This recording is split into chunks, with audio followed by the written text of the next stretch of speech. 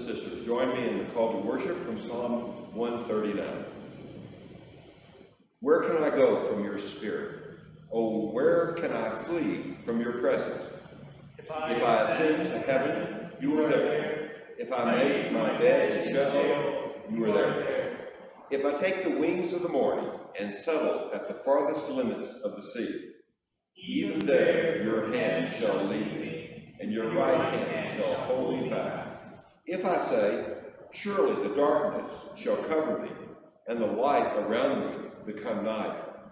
Even the darkness is not dark to you. The night is as bright as the day, for darkness is as light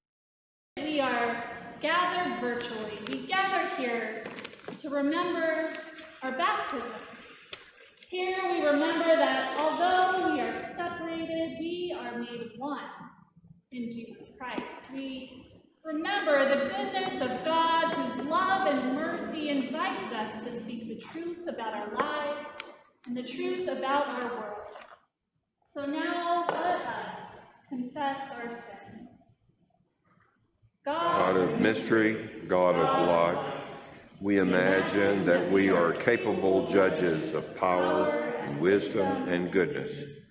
We trust our own standards. We separate and categorize. We mark the performance of others. We fail to trust your power, hidden in all things. We fail to watch for you, working out your purposes. Gracious God, hidden and manifest. Transform our withered imaginations until we yield the judgments we trust to a love we cannot control. Hear now our silent prayer.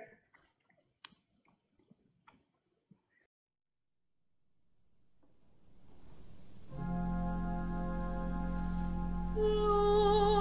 all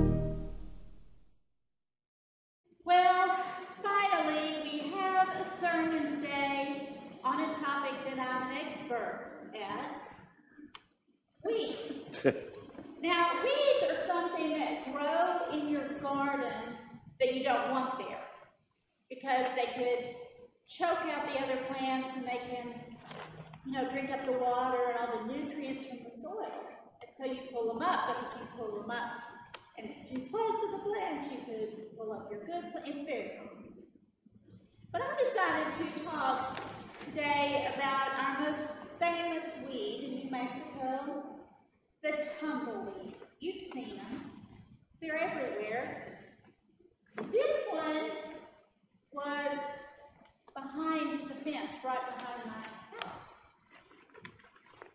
Now, I did some research. I know a lot about tumbleweeds now. So the tumbleweed is not did not come from this state or even our country. It originated uh, near the Ural Mountains in Russia. How did it get here?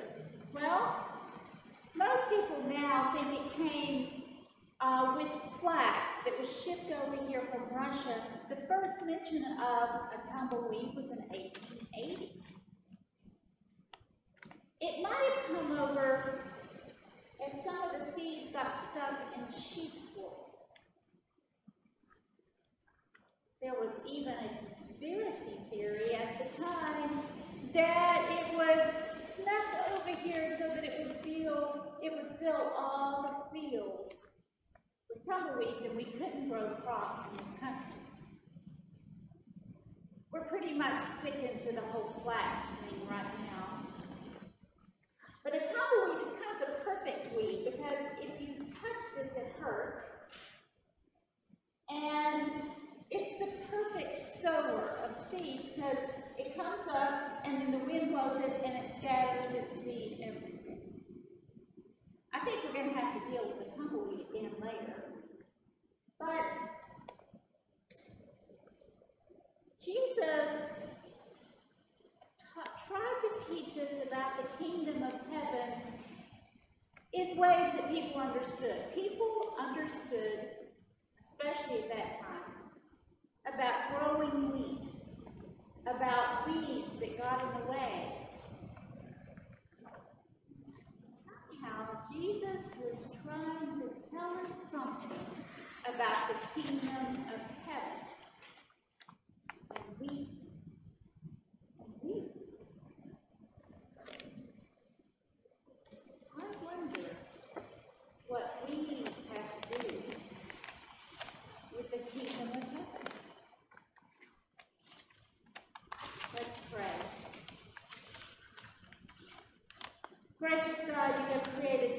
be a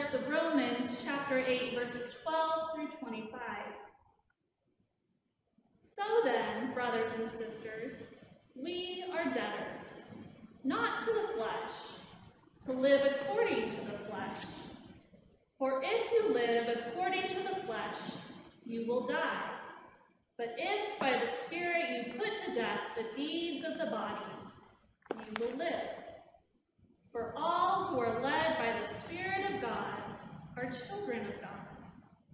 For you did not receive a spirit of slavery to fall back into fear, but you have received a spirit of adoption.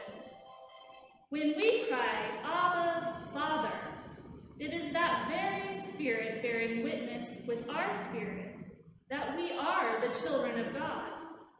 And if children, then heirs, heirs of God and joint heirs with. If in fact we suffer with him, so that we may also be glorified with him. I consider that the sufferings of this present time are not worth comparing to the glory about to be revealed in us. For the creation waits with eager longing for the revealing of the children of God. For the creation was subjected to futility, not of its own will, but by the will of the one who subjected it in hope that the creation itself will be set free from its bondage to decay and will obtain the freedom of the glory of the children of God. We know that the whole creation has been groaning in labor pains until now. And not only the creation, but we ourselves, who have the first fruits of the Spirit, groan inwardly while we wait for adoption, the redemption of our bodies. For in hope we were saved. Now hope that is seen is not hope, for who hopes for what is seen? But if we hope for what we do not see, we wait for it with patience.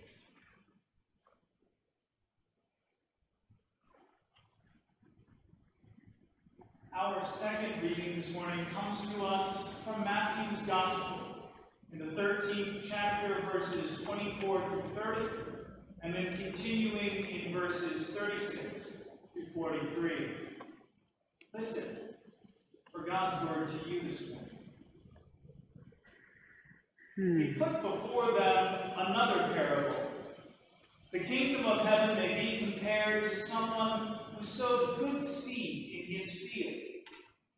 But while everybody was asleep, an enemy came and sowed weeds among the wheat, and then went away. So when the plants came up and bore grain, then the weeds appeared as well. And the slaves of the householder came and said to him, Master, did you not sow good seed in your field? Where then did these weeds come from? He answered, An enemy has done this. The slave said to him, Then do you want us to go and gather them? But he replied, No. For in gathering the weeds, you would uproot the wheat along with it. Let both of them grow together until the harvest. And at harvest time, I will tell the reapers, Collect the weeds first, and bind them in bundles to be burned, but gather the wheat into my barn. Then he left the crowds and went into the house, and his disciples approached him, saying, Explain to us the parable of the weeds in the field. He answered, The one who sows the good seed is the Son of Man. The field is the world, and the good seed are the children of the kingdom. The weeds are the children of the evil one, and the enemy who sowed them is the devil. The harvest is the end of the age, and the reapers are angels. Just as the weeds are collected and burned up with fire, so will it be at the end of the age. The Son of Man will send his angels, and they will collect out of his kingdom all causes of sin and all evildoers. And they will throw them into the furnace of fire, where there will be weeping and gnashing of teeth. For the righteous will shine like the sun the kingdom of their Father.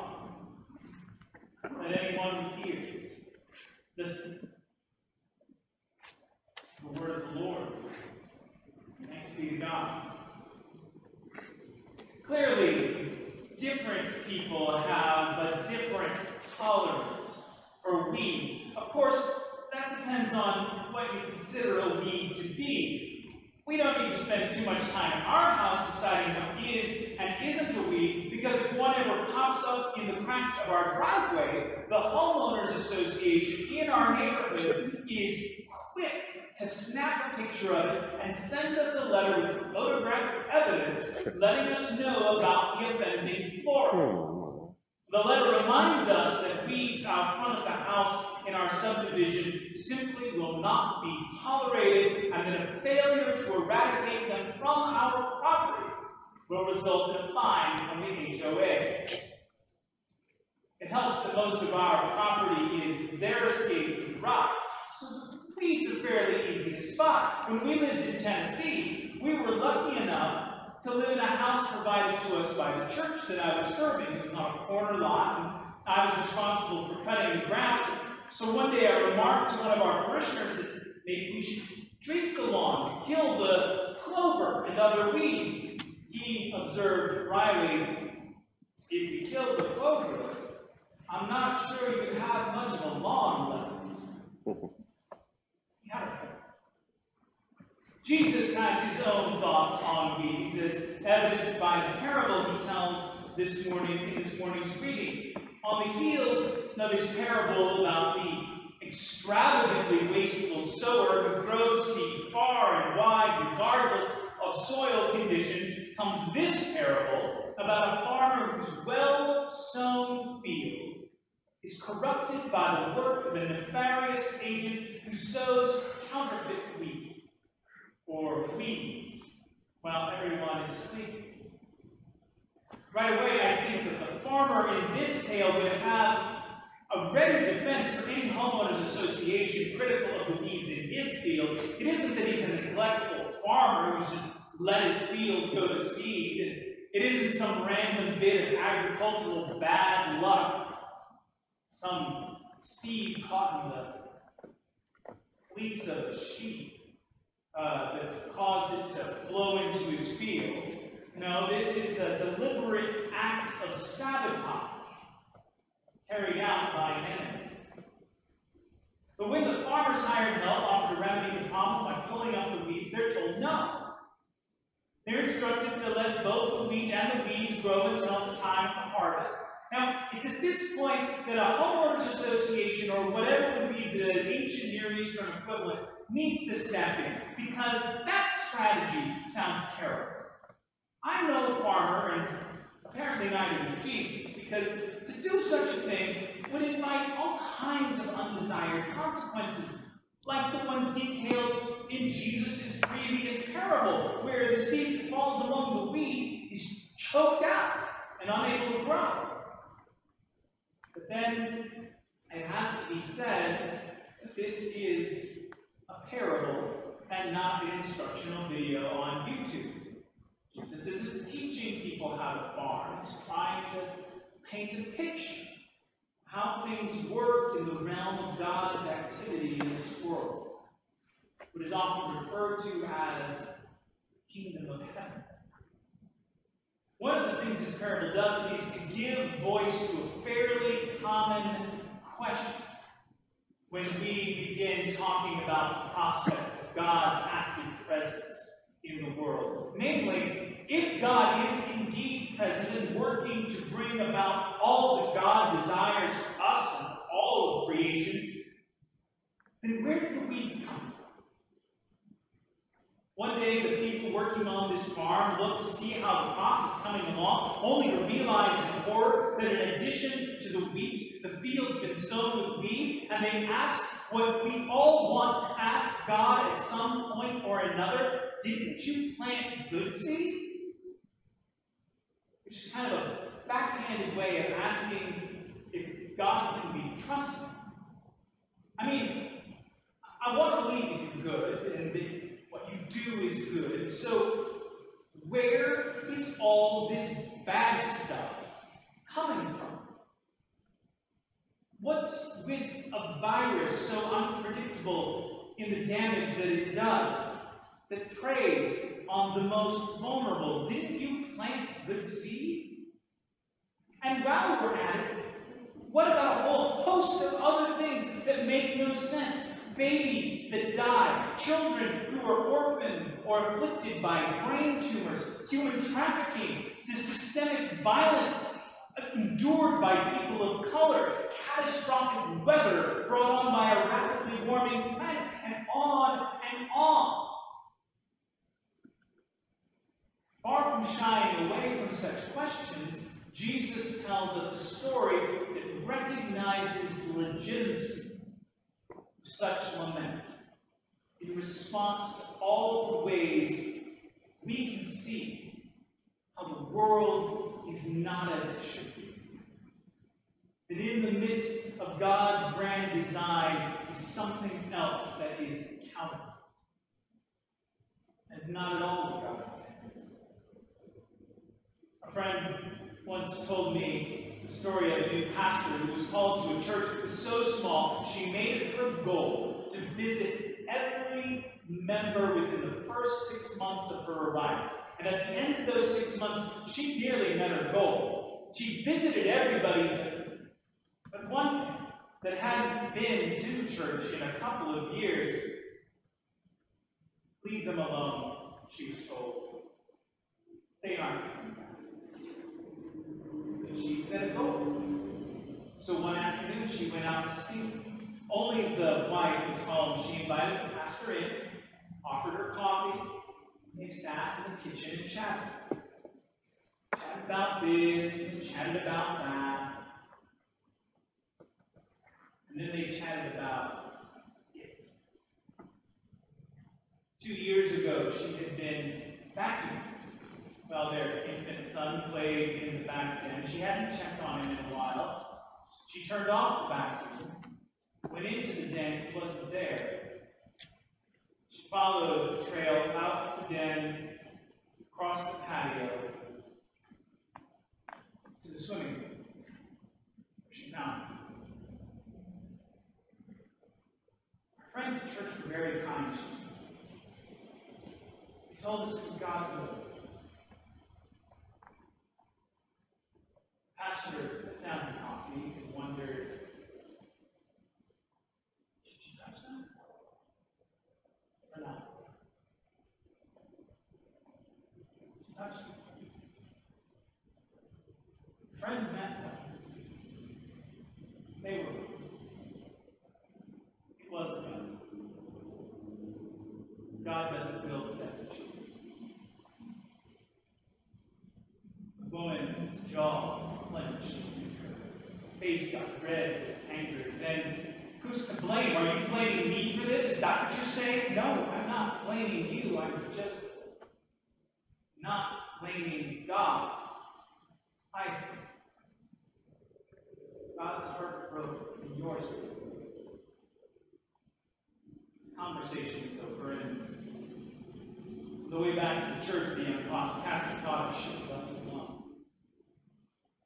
At the time she got back, there was a message waiting for her, and when she called, the woman said, I don't know what this, where this is going, but my husband and I would like you to come out here and talk to us about this. For two years, we thought God was angry at us. And now we wonder if it wasn't the other way around.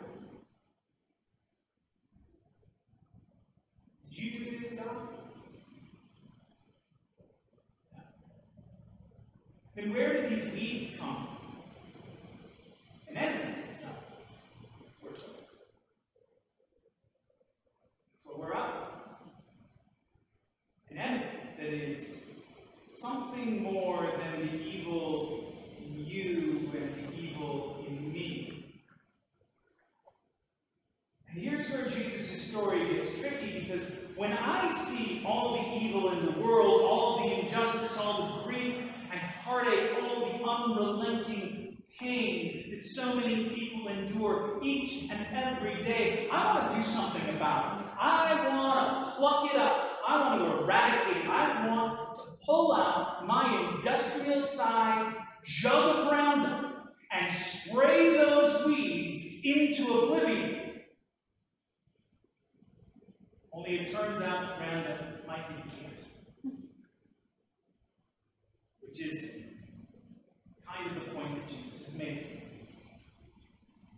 We might worry about the unintended consequences of leaving things alone, but this parable points out that there are also unintended consequences to going to war with the weeds.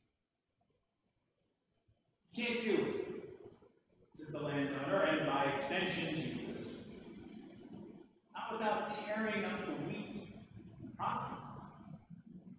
Your root systems are too intertwined. The moment we're living in as a society is not unique. In some ways, the divisive polarization created by partisan politics and culture ebb and flow over history like. We're certainly experiencing a high water mark right now for animus and anger directed toward our neighbor. It existed well before this viral pandemic reared its ugly head, but the efforts to mitigate its spread only seem to have exacerbated the worst behavior. I read about an encounter this week that someone had at a convenience store where another customer tried to rip their face mask off, claiming they were a victim of government mind control. It's a little crazy. I'm sure we all have our ideas about who the problem is, who the weeds are among us, planted by the enemy to thwart the thriving God desires for all of creation. But chances are that those same people might identify us as weeds.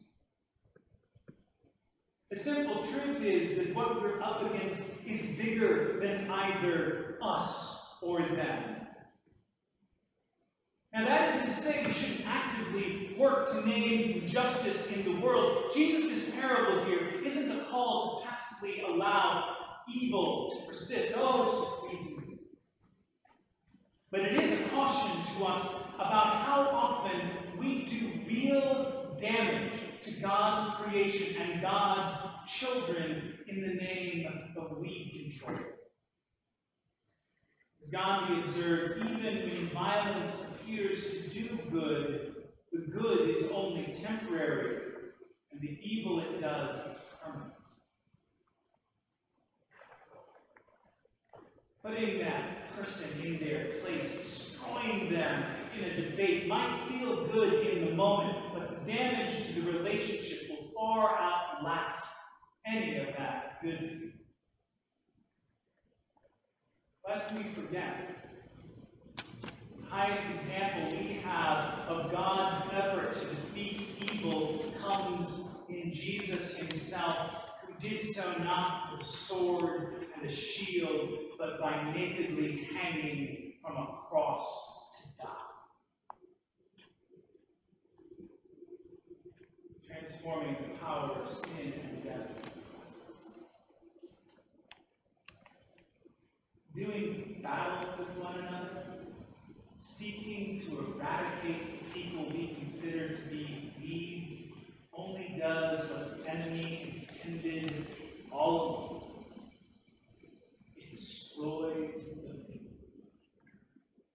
It thwarts God's purpose in cultivating the very thing feed those who are hungry for something. Or as my friend in Tennessee put it so long ago, if we do that, won't have much of a lawn left. Father Richard Rohr reminds us that the best criticism of the bad is the practice of the better. Instead of trying to prove that someone else is wrong or a product of the enemy, we serve the kingdom far better by living into the practice and values of the one who has the power to transform the worst of this world.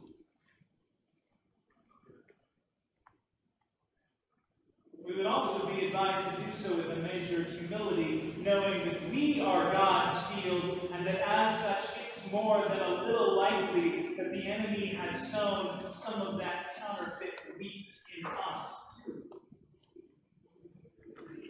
Which means that as scary as it may sound, and it's been made to sound, the fire at the end of this parable is actually very good news. The fire doesn't belong to the enemy, it belongs to God. It is the means by which God burns the stubble and impurities away from human life to refine At some point, our prayer must be, Lord, whatever there is in me that participates in the power of death, burn, baby, burn. Make me whole by the refining fire of Christ that I might be consumed by his love. the days of this pandemic turn to weeks and then to months, we would do well to heed the vision Jesus places before us with this parable. And instead of participating in the endless blame game, looking for ways instead in which we can work alongside God to cultivate what is good what is just, what is worth love. Glory to the Father, silence and Holy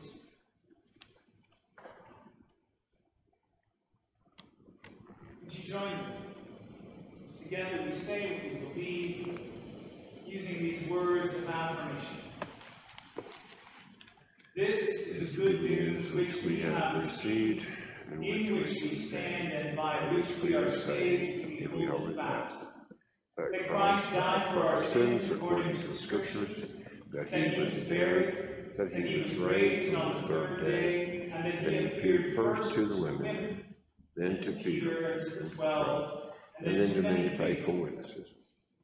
We believe that Jesus is the Christ, the Son of the living God. Jesus Christ is the first and the last, the beginning and the end. He is our Lord and our God. Amen.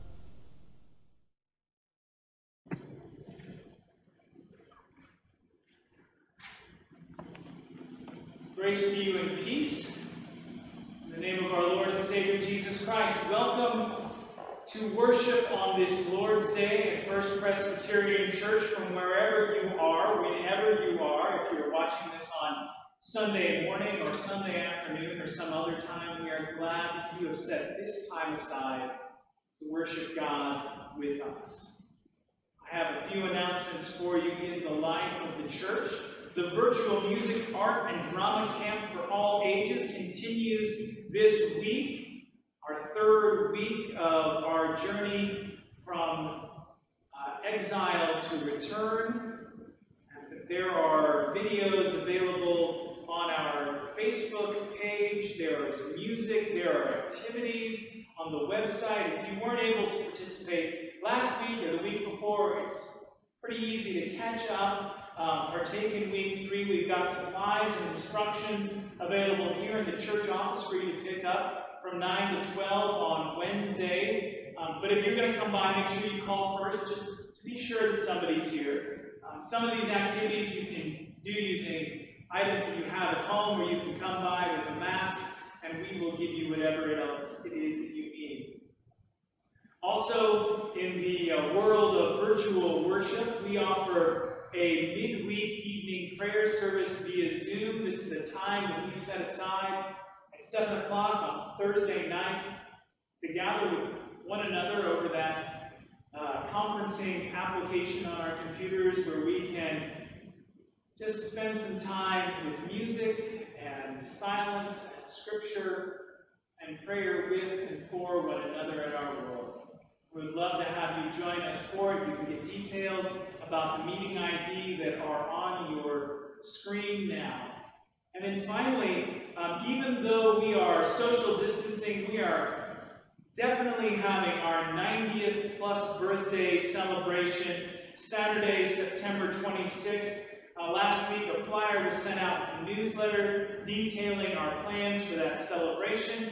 In order to make this happen, we need your help um, and your participation. So some of the ways you can help to celebrate our 90 plus year old members is to create banners and posters, send cards out to the honorees, to join our car parade on September 26th, to join the Zoom communion service that we'll be offering as a way of being in fellowship with one another, and to contribute photos or memories to add to special scrapbooks that are being created for those being honored. There are many ways to help in this celebration, and you can contact Sue Campbell at the number on your screen or Nancy Pierce and get more information from them.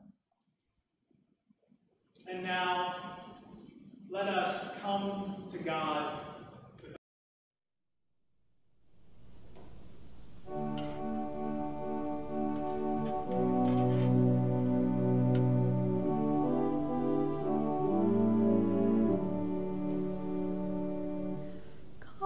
and fill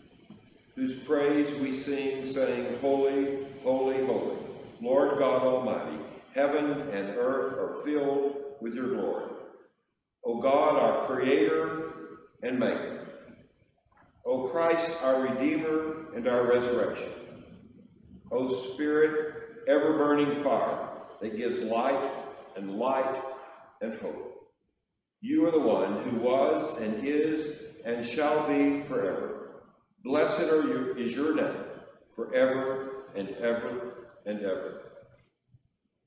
Gracious God, we ask that you write your blessed name upon our hearts, there to remain so indelibly engraved that no prosperity, no adversity, shall ever move us from your love. Be to us a strong tower of defense, a comforter in tribulation, a deliverer in distress, a very present help in times of trouble, and a guide through the many temptations and dangers of this life. O gracious God, in you we have our hope and our confidence. In you Christ our Lord. We have our restoration and our salvation. You are our mother, brother, and Savior.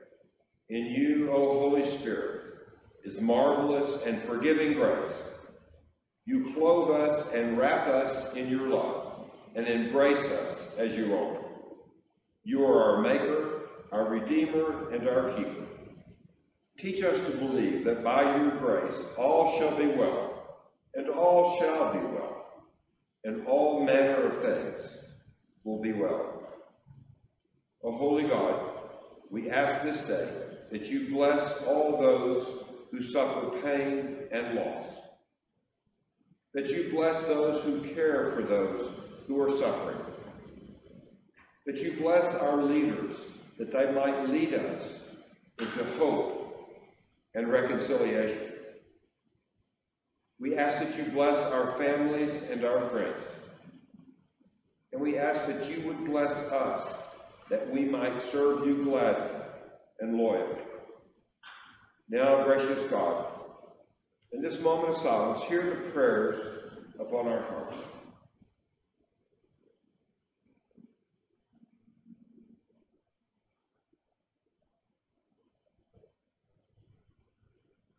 Loving God, gather up all of our prayers and answer them in your wisdom and in your mercy. And hear the prayer that Jesus, our Lord, taught us together to say, praying, Our Father, who art in heaven, hallowed be thy name. Thy kingdom come, thy will be done, on earth as it is in heaven. Give us this day our daily bread. Forgive us our debts, as we forgive our debtors. And lead us not into temptation, but deliver us from evil. For thine is the kingdom, the power, and the glory forever. Amen. So friends, during this offertory, I invite you again to give your life to God who loves you and has reclaimed you, and to also offer your gifts as you may, your time, your talent, and your treasure. Let us worship God.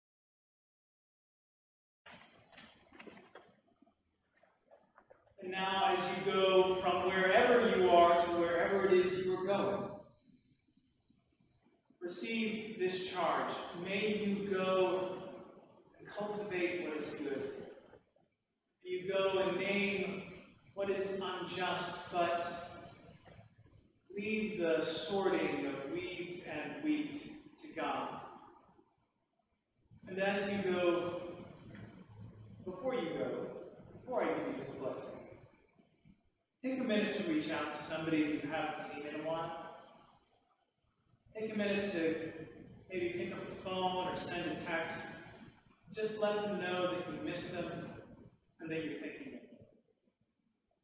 And now, may the grace of our Lord Jesus Christ, the love of God, and the very present power of the Holy Spirit that gives life to all that is good be upon you this day and remain with you